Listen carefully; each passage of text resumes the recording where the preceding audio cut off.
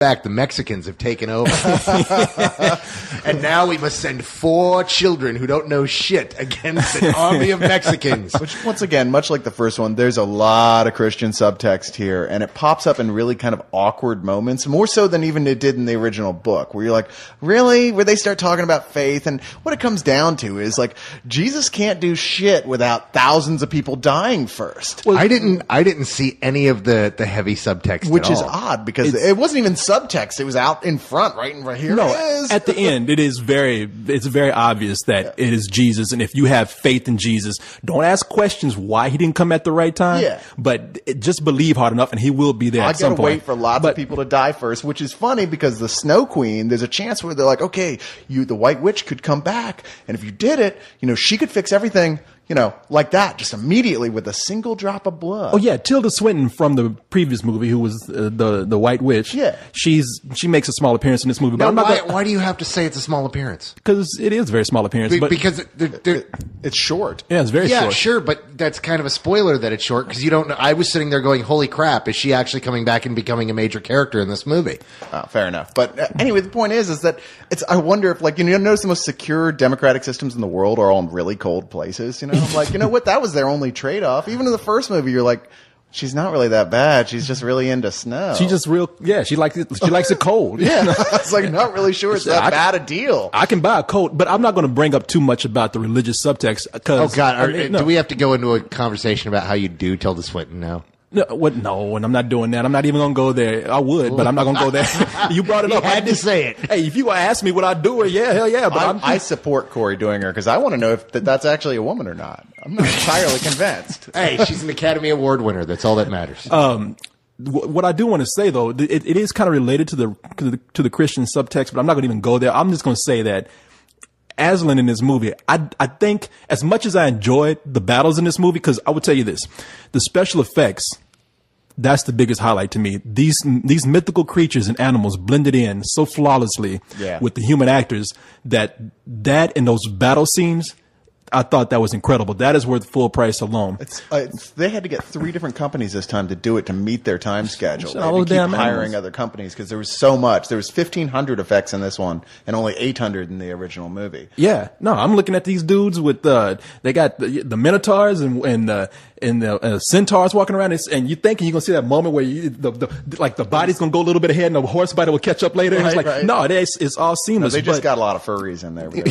y'all furries gonna love this shit. But but no, the uh, Aslan man, uh, that story is ridiculously stupid to me because Aslan don't do shit. I mean, everybody's dying. Aslan just sitting back chilling, ain't doing nothing. Yeah, Just- they should have just called him Deus Ex Machina, not, not Aslan, because that's more. That's all he does. He waits till the last minute, you know, and goes, "Oh, you need some help? Okay, sure." Yeah, there's all these cute little creatures dying, and Aslan just Did you sitting on the sidelines, just just chilling, just looking. Did you guys miss the entire fucking point of that movie? Yeah, it's like a Christian parable. We No, got no, it. no, Yeah, no. that's no. exactly what No, it. No, the whole reason of what Aslan is doing is these main characters have to learn something and they have to overcome their own flaws to do what they need to do. And if Aslan comes and cleans up after them, if Aslan as a father comes in and cleans up all their messes, they will never learn. They have to make their mistakes on their own. And once they learn and once they realize what they've done, then Aslan comes in and goes, okay, now it's time to kick some motherfucking So at the ass. price of several thousand. Yeah, that's what I'm saying. Oh, but Narnian lives, not human lives. No, it was Narnians and. Mexicans. Yeah, this- what do you care?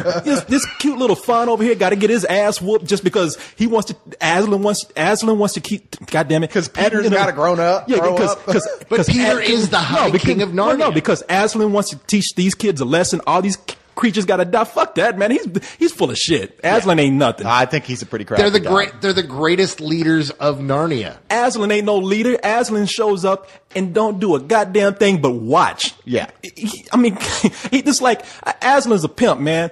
He, all these people out there giving their ass up for whatever, and Aslan's just sitting back, just You, collecting you the guys profit. missed the entire fucking point of the movie. You guys got all wrapped I up in the Christian thing and missed the whole basic point of the it's not film. even a Christian thing. Let's just say with I'm not even thinking about this in Christian terms. I'm thinking of what does Aslan do? Besides show up and roar. Yeah, I totally see what you're saying, but I just don't agree with that. I'm like, really? What a fucking jerk. So four kids can grow up. He lets all those people I'm die. not he's a it's, I'm not saying god. he's right. I'm saying that's what he did. You, you're, you're acting like it doesn't make any sense. And the, I'm saying it doesn't make any sense because it's an absolutely bullshit decision. That doesn't make what he's Yeah, supposed I to be all knowing and all powerful. Fuck that!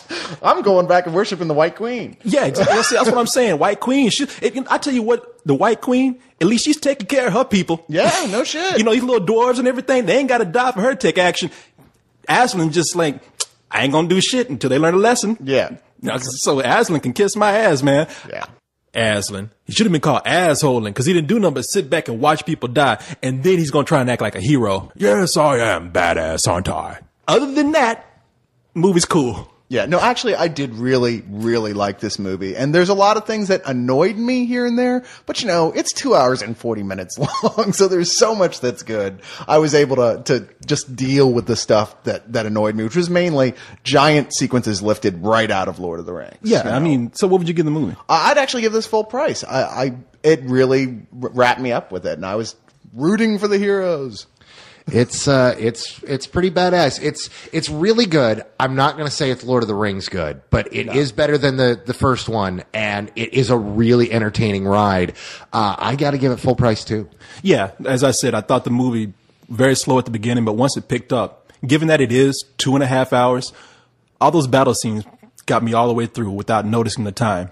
And I really think it's a marvel of technology what they're doing with this. So just for the visuals alone, I would say full price. All right, so I got to ask you guys something. What? What the fuck was up with all the fucking babies at that fucking screening? Oh my God. How many babies? It was like a baby stereo. They just every time you turn around, you know, surround sound babies. I don't know, man. I was noticing the same thing. It was uh, all these babies, like one baby would cry, get taken out. There was another baby to take his place. You know, it's, it- it- it's like the Hydra of babies. What was that rat's name? Uh, uh, Dookie Shoe? What? it was Reepicheep. Reaper Cheap. Reepicheep. Oh. That's what I loved about this movie, man. It had badass mice. Yeah, and they were like, you know, every time someone accused them of being cute, they'd go like cut somebody's like femoral artery, you know? yeah, they would go ape shit. What's funny is the main rat is played by, or sorry, Mouse is played by Eddie Izzard, who's famous. I love Eddie Izzard. He's famous for being a transvestite comedian, which is funny because he's so good, he doesn't need the gimmick. But still, when he does other stuff, he often sneaks the transvestite thing into the plot somewhere. So I really expected Reepicheep to have a dress on at some point. or maybe just climb up Prince Caspian's butt or something, you know? Oh, come on. you gotta go there with that, man. but no, it's, uh, that would be the visual there. Crazy ass psycho mouse with a dress on and a sword, cutting people up, going chainsaw massacre on people, man.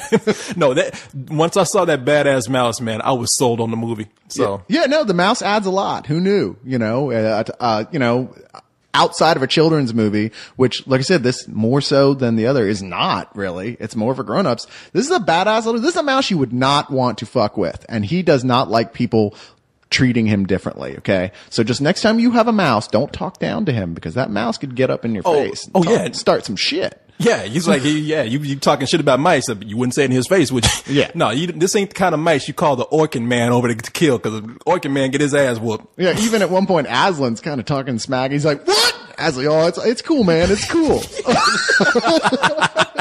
Yeah. All right, cool, excellent.